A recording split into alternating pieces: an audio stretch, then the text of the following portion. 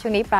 อยุธยากันบ้างไหมคะ ไปไปไหว้พระแถวนั้นบ้างไหมคะ ต้องไปวัดกันเป็นคู่หรือหมู่คณะนะคะค่ะ แต่สำหรับแฟนคลับที่เขาไปเอ่อไหว้พระไปวัดเนี่ยนะคะ ก็ก็ไปเจอหนุ่มณเดชน์คุกิมิยะค่ะ กับยาย่าอุรัสยานะคะไปไหว้พระกันถึงเอ่อจังหวัดอยุธยาก็เลยแน่นอนค่ะ ก็ ถ่ายรูปนะคะค่ะเป็นที่ระลึกผ่านแล้วก็แชร์ผ่านโซเชียลด้วยนะคะ จนทำให้มียอดค้นหาแฮชแท็กณเดชน์ญาญ่าขึ้นเป็นอันดับหนึ่งใน Twitter เมื่อช่วงสัปดาห์ที่ผ่านมาเลยทีเดียวนะคะ แล้วก็ทางแม่แก้วเองก็ได้โพสต์รูปลง IG ซึ่งก็เป็นรูปที่ญาญ่าซ้อนจักรยานณเดชน์ก็ทำให้มียอดกดไลค์รูปนั้นมากกว่าแสนไลค์แล้วนะคะแล้วแฟนคลับเองก็ comment ว่าเป็น moment ที่น่ารักมาก ๆ บางคนก็เรียกร้องให้ณเดชน์เนี่ยส่งรูปคู่น่ารักน่ารักให้แม่แก้ว เพื่อที่จะได้ลง IG ได้ฟินกันบ้างนะคะ แล้วก็เมื่อวันเสาร์ค่ะยาย่าก็ลงรูปที่ถ่ายที่อยุธยาค่ะ ซึ่งคาดว่าก็น่าจะเป็นฝีมือของหนุ่มณเดชน์ถ่ายให้นะ และล่าสุดณเดชน์ก็เผยถึงคลิปครั้งนี้ว่าเป็นทริปไหว้พระแล้วก็ไปปั่นจักรยานกัน แฟนคลับเห็นก็เลยถ่ายรูปไว้ ส่วนรูปที่ยาย่าโพสต์ลง IG ก็บอกว่าเป็นฝีมือตัวเองถ่ายหนูนี่แบบคาดเดากันได้นะ แล้วก็หลังจากนี้บอกว่าถ้ามีเวลาก็จะมีโอกาสชวนกันไปเที่ยวอีกค่ะ น่ารัก พอดีว่าว่างนะครับว่างกันก็เลยตัดสินใจว่าเออลองไปต่างจังหวัดละกันอะไรเงี้ยครับลองไปอยุธยาดูอะไรเงี้ยก็ก็ถือว่าเป็น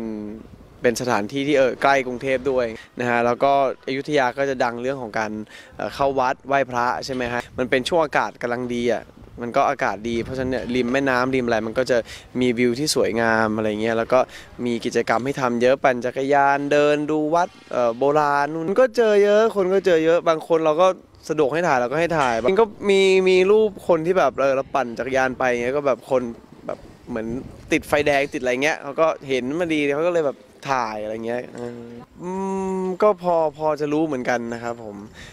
เออก็ไม่รู้จะพูดยังไง เราก็ทำตัวปกติอยู่แล้วอะไรเงี้ยมันก็ไม่ได้มีอะไรที่พิเศษอะไรโอเคก็ก็ดีครับก็ดีถ้าคนก็คงจะชอบ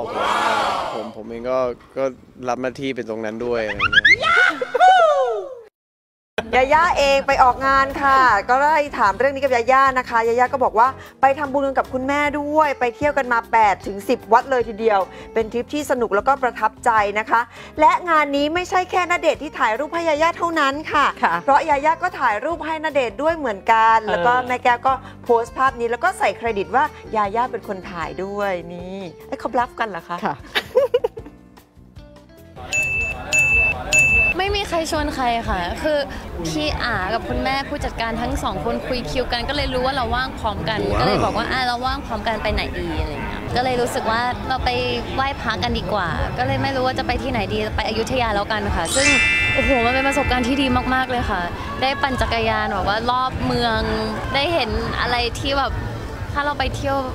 แบบทัวริสต์จริง ๆ ไปแค่ตรงนี้ตรงนี้มันจะไม่เห็นอะไรอย่างเงี้ยค่ะไปครบประมาณเกือบ 10 วัดค่ะ8 8ถึง10 วัดค่ะ ก็ก็สนุกดีค่ะ ก็น้องๆไปทัศนศึกษากันเยอะก็เลยได้เห็นรูปกันเยอะค่ะ โรตีอร่อยมากเลยค่ะอยุธยาไปกินก๋วยเตี๋ยว ใช่อร่อยค่ะ ไปเที่ยวกันนะคะ